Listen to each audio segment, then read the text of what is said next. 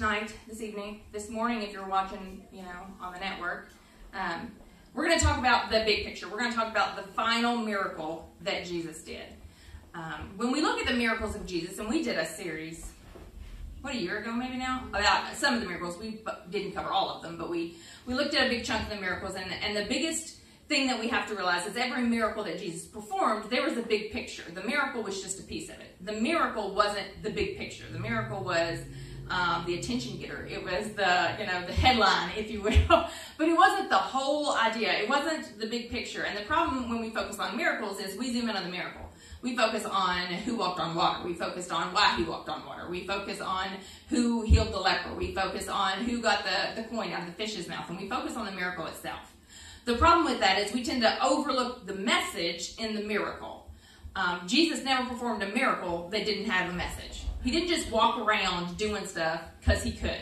That wasn't the point of healing people. That wasn't the point of um, freeing people from possession. That wasn't the point of doing the miracles that he did. It's never been the point of doing the miracles that he did. There was there's a message and there's a point, and the point we tend to lose because we just focus on the miracle. Only those uh, that are present get to see the miracle, right? So if if if I Leslie broke her arm and then I healed it, all of us here would see that.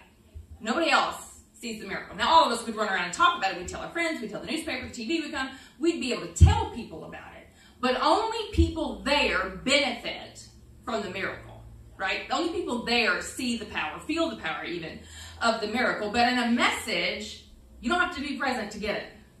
You don't have to be present to have firsthand knowledge of what that's about, why it's important, and who to share it to. So the message is as important as the miracle. Jesus addressed everything.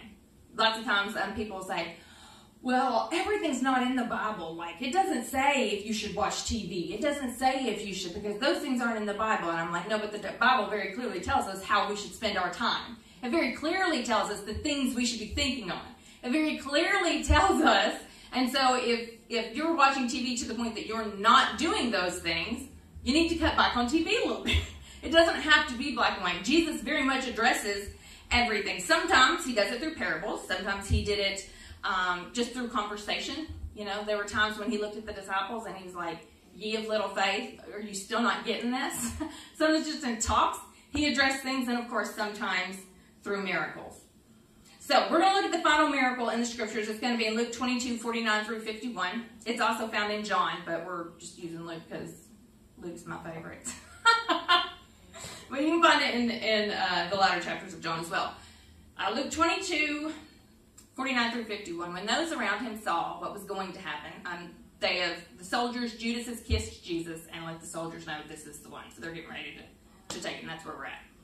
So when those around him saw what was going to happen, they asked, Lord, should we strike with the sword? Then one of them struck the high priest's servant and cut his, off his right ear. Jesus responded no more of this, and touching his ear, he healed him. The last time Jesus would heal anyone in his mortal body, in his life, would be a soldier sent to arrest him. The last time he gave a blessing in this mortal life would be to someone who was there to kill him. There's a message in that. There's a huge message to that. The last people to witness, to be present for the miracle of the Savior of the world were the soldiers sent to arrest him because the disciples ran. Remember? They got chickened out. They, they got scared. They chopped off the ear. Jesus was like, cut it out, and they ran. So the only people that got to see the final miracle and that were receiving the miracle were the people that weren't there to appreciate him. They weren't there to worship him. They weren't there to um, learn about him. They weren't there to learn about their own faith. They were there to end Jesus. The last documentation of a miracle in the Gospels by Jesus would be written by those that abandoned him. The very last miracle we get is in John and it's in Luke, and neither one of them stuck around. So we only get the story of the final miracle because those that abandoned Jesus are the ones that relate that story. There are a few of the miracles that are related in secular writings. Josephus is a uh, historian that I rely on heavily, and he remarks about miracles. But the final miracle is written by people who loved him, who lived with him for three years, and abandoned him when it got hard, when it got scary, and when it got tough. The conditions for the final miracle are not like any of the other conditions for all of the other miracles.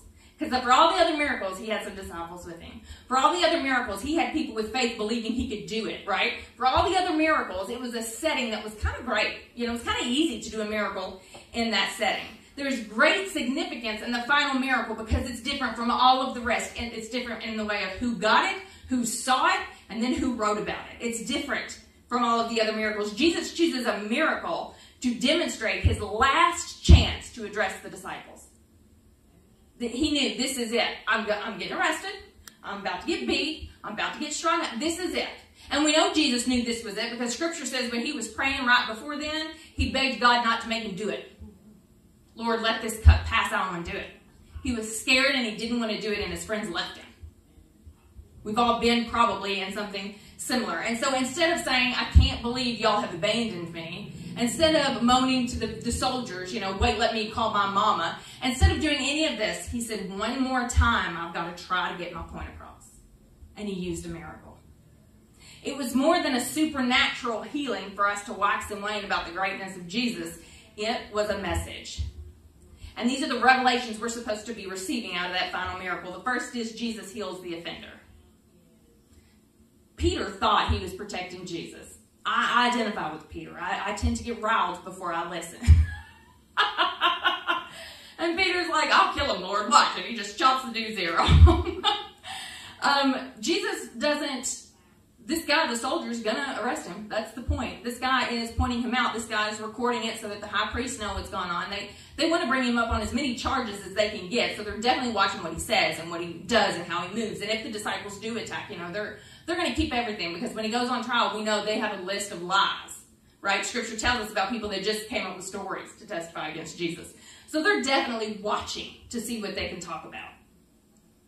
And Jesus heals that guy. It said it was the high priest's servant, which means he probably wasn't a soldier. He was the guy writing everything down. He was the guy going to rat him out.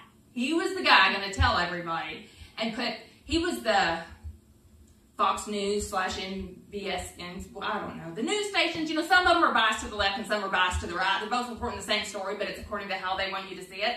That's what this little servant guy was doing. He was going to say what happened, but he was definitely going to spin it so that Jesus, you know, was was going to be found guilty of things. And that's the guy. Jesus is like, you deserve to have a right ear.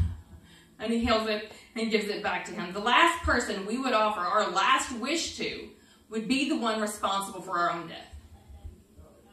If we had a genie and three wishes, and then we'd use two, and we had one wish left, and somebody ratted us out and lied about us, and then we got, you know, to the point that we're going to go to gallows and we know it, and we have one more wish, are we going to use that wish for that guy?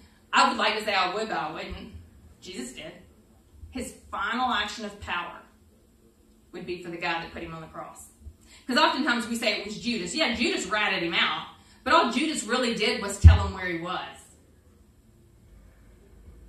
Judas never lied about him. Judas didn't arrest him. Judas didn't, I mean, Judas betrayed him for sure, but Judas ain't why he went to the cross. The high priest's servant is why he went to the cross. He was the one reporting everything. So that when they went to court and they had the list of charges, that's where it came from and that's the one Jesus healed. His death on the cross would bring forgiveness to the entire world. Jesus knew that. He had told the disciples that. He was trying to tell all of us that. His death on the cross would be forgiveness for everybody. And in the final miracle, Jesus is displaying the truth that salvation and forgiveness would be for everyone, even that guy. Even that guy. He's, he told them, I'm going to the cross and it's to die for everybody's sins. And when Peter chopped that guy's ear off, Jesus saw he doesn't get it. He doesn't get it that that guy is as valuable as Peter is to me. I'm getting ready to go on the cross to forgive them all. I have to show them I mean all, even that guy. The final miracle was a chance for Jesus to display and teach them that salvation and forgiveness would truly be for all people. The offender, we, we see the offender as the enemy. He's the guy, you know, he's the one that we're going to point the finger at. Jesus just saw him as wounded. Jesus didn't see him as, as a threat. Jesus didn't see him. Why? Because Jesus knew there was a mission that God had and it was bigger and better than anything that was going on in the garden. That same fact is true for us now. No matter what people do to us, there's a bigger and better mission going on than anything that's happening in our garden. None of this should rattle us. We should never look at another human being as our offender. Because that's not how Jesus sees them. Jesus sees them as forgiven. Jesus sees them as worth healing. Jesus saw him as wounded. I also want to draw your attention to the only violence that occurs in both um, John and Luke's. The difference in John and Luke is John names Peter. I think Luke just says one of the disciples. But otherwise, both of their accounts are pretty similar. Um, but I want you to notice that um, in, in the, the account of what happens here, the only violence that is perpetrated is done by a disciple, not the offender. They hadn't even put cuffs on him yet. They hadn't chained him up. They hadn't touched him yet. And mm-hmm. violence came from a disciple, from somebody who said they loved Jesus. Mm-hmm. That's what happens when we start looking at people as the offender instead of how Jesus sees them. Sometimes the church will perceive somebody as the enemy and we lash out. We defend our own honor. We defend our good Jesus. We're not going to let anybody, you know, put a stain on the church. We're not going to let anybody challenge salvation. We're not going to let anybody challenge our faith and and we lash out at the enemy. We we decide that anybody that doesn't believe how we believe is the enemy. We decide LGBTQ is the enemy. We decide um, I don't know what's the hottest thing right now. We decide we decide women with abortions are the enemy. We pick at them. We decide that gay people are the enemy. We decide that women in clergy are the enemy. We decide that these people are a threat to what we believe, and so they're an enemy, and then we lash out. No, you can't come here. No, you can't benefit from here. No, I won't serve you. No, I have no food for you. No, I will not help you. You're a sinner going to hell. You're going to hell. You're going to hell. You're going to hell. That's what we do. Sometimes the church is the disciple that chops the other guy's ear off. Are they the offender? Maybe. I don't know what they're doing to you personally, but you're not supposed to see them like that. You're supposed to see him as wounded. We're all wounded, let's just be honest. We've got something going on. Jesus heals those people, showing the disciple or the church that this is not the course of action he condones. This miracle was saying, I forgive everyone, but this is not what I want you to do on my behalf. Don't you dare hurt someone in my name. I don't care who they are. I don't care if it's the same guy that's going to crucify me. Don't you dare hurt him because I'm going to heal him. If you do, I'm going to heal him, and you're going to have to watch me do that. and that's like eating crow, quite frankly. Jesus heals him. The church has to be very, very careful not to become the very thing that we're against. The disciples would have easily told anybody they were against violence, that Jesus was not there to lead war. They knew that. And then in their fear to defend their faith, to defend their Jesus, they got violent. We get caught up in emotions, we get heated, and we stop seeing people the way Jesus sees people. And this miracle is trying to show us and remind us who Jesus sees and what he sees. The disciple, Peter, thinks that Jesus needs defending. In this world, a lot of people think Jesus needs defending. he doesn't. He didn't then, and he doesn't now. Jesus is perfectly capable of taking care of himself, thankfully. Nobody was attacking Jesus. They didn't put him in chains. They just asked his name. Jesus is like, I, me, it's me. I'm the one you're looking for. The, the, the discourse is occurring in this moment. We feel triggered sometimes when somebody claims to be agnostic or atheist or um, or, or something counterproductive to what we think the church is here for. And we see that as an attack on Jesus. Like they don't believe, like, like they think we're liars or that we're loony or because we believe in a zombie Jesus or, or you know, they, they, they take it to, and we, we think that's a personal affront. We have to defend the faith. We have to tell them Jesus is real. We have to tell them. And it becomes an attack on them when they just have said, I've had no experience with Jesus. I wasn't raised in church. My parents didn't go to church. I don't, I don't have a feeling one way or the other. I'm agnostic. I don't, I don't have a feeling. I don't know. And we begin to think that that's terrible. We begin to think that's an affront on us and we have to defend Jesus. I can't tell you how many times people will tag me on Facebook that um, somebody will share something about there shouldn't be women pastors, or they'll share something that's atheists or whatever, and somebody will, will tag me to get in the conversation in the comments. And every time I go in and I'm like, the gospel is supposed to be used as a weapon against Satan, not the brethren, and I refuse. I refuse to use scripture to make someone else feel small. I won't do it. That's not what it's for. I'm not going to use scripture to make someone else feel like their world has been rocked and then just leave them wherever they're at to sit in that. I'm not going to use scripture. I'm not going to jump in this page, in this comment section. This is not the place to have a discussion. This should be one saying, I love you, Jesus loves you, and there's a place for you here. But they don't want me to say that. They want me to tell this person how they're wrong. They want me to tell this person and use the scriptures. I'm not doing it. That's not what it's for. And too often the church thinks Jesus needs defending when in truth, if we would just step back and say, Jesus wants to love you, he don't need defending. He's perfectly capable of doing it himself. Our response to cut off the ear has us acting like we think they're going to act. We decide they're going to act like that, so we're going to beat them to punch. oh, it, it doesn't work. The miracle was to show us it doesn't work. Another revelation from the final miracle is everything can be an opportunity for your calling. This is hard for me to come by, and I'll be honest, some days today it's still hard for me to come by. everything can be an opportunity for your calling. Jesus could have fed the disciples to wake them up. Remember, he went and like they kept falling asleep, and he's like, "Will you not tarry with me for an hour?" One sure way to make people stay awake is to feed them. It just that people are awake if they're eating, and people like to eat. He could have fed them. He fed the five thousand. He absolutely could have fed the disciples. He didn't. He could have risen one more person from the dead on the way to the garden before the soldiers came. I mean, they'd seen Lazarus. They'd seen the little girl. I mean, they Peter's mother-in-law. They'd seen him raise people. He could have done it one more time. Because for me, I think that's the biggest miracle, like on his earthly mission before the cross, was raising people from the dead, right? He could have done that. He didn't. He could have healed some way on the way to the garden. He didn't. The final miracle would be given to the lost. The one who didn't like him, the one who didn't love him, the one that didn't participate in worshiping him, the one that was worried about his downfall. The final miracle would be given to the lost. And that's not a coincidence. There's a message in that. He has called us to minister. All of us, whatever your individual calling is, we're all called to minister. Go therefore and make disciples of all nations. We all have the Great Commission. We're all called to witness and to serve and to win the lost. That's just the universal call of the Christian. And if we reserve all of our goodwill and all of our blessings and all of our talents and all of our gifts for the saints, the lost will stay lost. If we have our revival services and we have our altar lined up and a healing service and people are falling out and jumping over pews and getting delivered, that's great, but there's a whole big wide world out there. Why are we telling them they have to come to us? Because Jesus never once said, Come to me, he went to them. Lazarus was dead and they sent for him. Jesus, he's dead. And he came. She didn't pack Lazarus up and take him to where Jesus was. She didn't pack up all her kids and make a basket and come and stay all night. They didn't do a bunch of worship and hoopla and and, and I'm not saying nothing wrong with that. I love a good holy rolling service. I was raised Pentecostal. Ain't nothing wrong with that at all. But what I'm saying is it's not required to do what we're called to do. And oftentimes we're like, well, it's uncomfortable outside of the walls of the church. It's uncomfortable to talk about Jesus in a grocery store aisle. It's uncomfortable, and if it comes up, it's uncomfortable for somebody to say, you know, I've been struggling with whatever. Maybe they have cancer, maybe they have mental issues, maybe, you know, they've been struggling with depression or something like that. It's very uncomfortable in the middle of Kroger to go, can I pray for you? And then pray for them there. Now, what we like to do is go, I'll put you on our prayer list.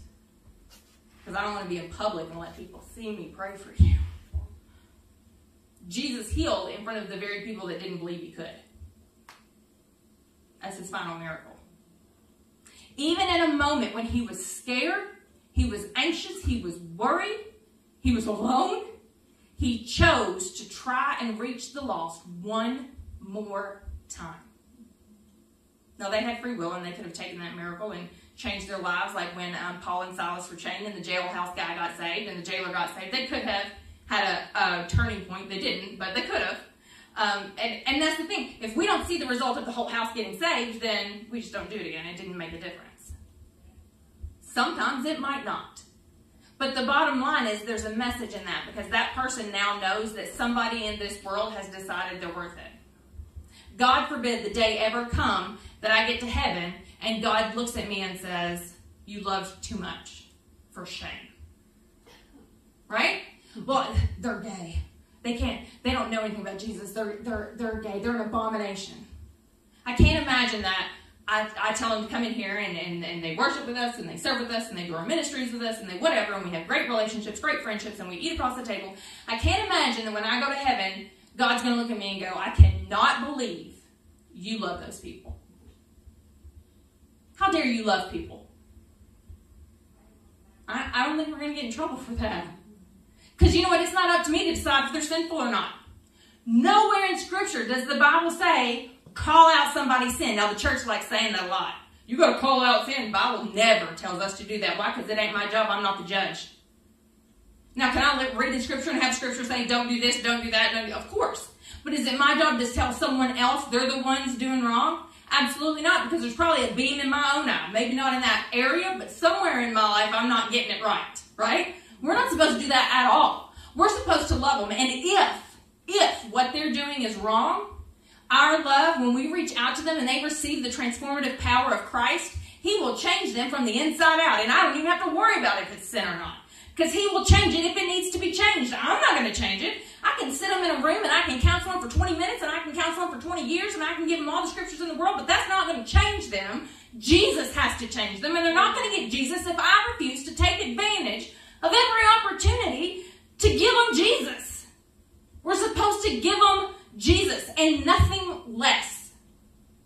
But we've decided that because they're lost, because they're the bad guy, they're the offender, they are not worthy of our precious Jesus when they're the exact people Jesus wants. We forget we were those people. The final miracle, all summed up, of course, it was a supernatural healing. I definitely don't want to take away the power from that. I definitely don't want to take away the excitement from that and, and the impact of a supernatural miracle, of course. Um, the message of all the miracles is that we have that same power, right? Is that Jesus gave the same power to us. He passed the authority to us. Um, but past that is we have to heal and minister to the offenders, which means forgiveness and mercy for everybody. While they're putting the knife in your back, you have to forgive and, and offer mercy. You have to say, it hurts, like physically, ow, and it hurts my heart, ow, I don't like it, it hurts. But Jesus his very last thing he did was ask me to love you anyway. and for all the things that he's done for me, I can do that one thing. That, that one thing is hard. And maybe you won't get it right every time. But I'm telling you, if you, it's, it's a mindset. Forgiveness isn't always um, easy, but it's a decision. You can decide to forgive someone even if in your heart you really haven't. I'm going to treat them like they're forgiving because God's going to work on my heart. God's to heal me. God's to minister. It's hard to forgive somebody when you're unhealed. They can't heal you anyway. Your forgiving them is not to heal you. Not forgiving them is not to heal you. Your healing is to come from God. So forgive them and you and God work on you. Treat them as if there was no transgression. And you and God will make you better. He has been faithful 100% of the time to pull you through. We don't defend Jesus because then we become exactly what we're against we become the offender. we become the violent one. We become the one that withholds love. And we have to seize the opportunity to minister, even if it's scary, even if our time is short, even if we know if we only have a few minutes. We have to seize that opportunity. We can't keep waiting for the perfect place and the perfect time. We're not always going to get it. It may be when you're busy. It may be when you're scared. Maybe you're overcome because your own life is not where it should be, is not where you want it to be. We have all been in positions where we've gotten bad diagnoses or, or family has been very sick or past even. In those moments when we're focused in on ourselves, we miss opportunities. Jesus could have been focused in on his fear. He, he could have remained in prayer with God. Because that's probably what I would have done, I'll be honest, in that moment. The whole way. I might have known I was going to do it, but the whole way I'd be talking to God because I'd be freaking out. There's no way I'd be able to do it without talking to God. And Jesus talked to the Father, and then he was like, I'm not going to talk to God all the way to the cross because I have work to do. I'm going to talk to him before so I can get prepped, so he can heal me, so that he can give me courage, so that he can give me strength to endure. I'm going to do the work, and then me and God are going to meet back up. Because he's with me. Whether we're chatting or not, he's with me, right? He hasn't, he's not gone anywhere. So the final miracle is a beautiful miracle and a supernatural healing. It's, it's a fun look into Peter, knowing that after three years he was just as violent as he was the day he met Jesus. it's comforting for us to know when our process takes longer than we think it should right? When I look at myself and I think you should be further along in your walk with Jesus by now, it's comforting to know that Peter was literally with him every second of every day for three years and still chopped some dudes ear I'm not so bad, right? It's nice to have these little reminders, but more importantly, the final miracle reminds us there is no enemy. Every second of every day is an opportunity, and love should be the first thing we do to everybody. Lord, we are thankful for opportunities to demonstrate your love. God, I pray that you give us opportunities to demonstrate your love. I pray that you show us, Lord, that you help um, trigger in us, Lord, compel us and draw us to the lost. Lord, let us see opportunities. Let us seize those opportunities. And God, plant the seed, whether we see it in that moment or we see it years down the road. Lord, I believe that there is a purpose to every meeting. I believe there is a, a meaning to every conversation. Lord, nothing is by coincidence or happenstance, but God, it is by your divine design. And so, Lord, I pray we begin to look for and to see those moments, Lord, and that we take hold of them. Let us be a witness to the lost. Let us be a witness to the saved. Lord, let there be no difference in how we treat the lost versus the saved, the sinner or the same. Lord, let us see people the way you see people. Let us see hearts and not actions, God, because we are not what we do. We are who we love. We are yours. We are chosen. We are being made righteous and we are being made perfect. And God, that is the salvation. That is the miracle that we want to give to the rest of the world. Lord, let us do that effectively as we remember the point and the messages of the miracles. We love you and we praise you in Jesus' name. Amen.